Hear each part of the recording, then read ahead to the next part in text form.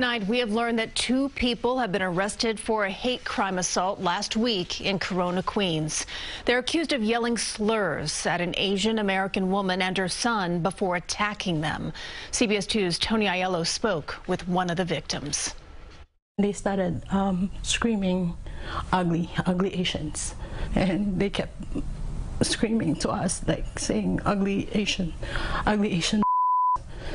Monday night, the NYPD arrested two of these three people 18 year old Natalie Plaza and 21 year old Elijah Fernandez for allegedly yelling anti Asian slurs while committing an assault at the busy intersection of Junction Boulevard and Roosevelt Avenue. I love New York, but if the street is always dangerous for us, it's, it's not it's not good. Philippines native Cecile Martinez Lai says it began as she and her son got out of a car to enter the 7 train station. The driver in a white SUV started honking at them to hurry up. Then people inside shouted anti-Asian slurs.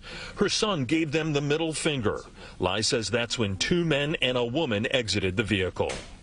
She punched me and I was um, knocked out unconscious. So the moment I woke up, I saw one of the guy punching my son. She says the ugly words hurt worse in some ways than the physical assault. This video shows the SUV narrowly miss a bystander as it sped from the scene. The arrests come as the city has seen a decrease in reported anti-Asian hate crimes. Three reported in the first two months of this year versus 14 in the same period last year. In Corona, Queens, Tony Aiello, CBS 2 News.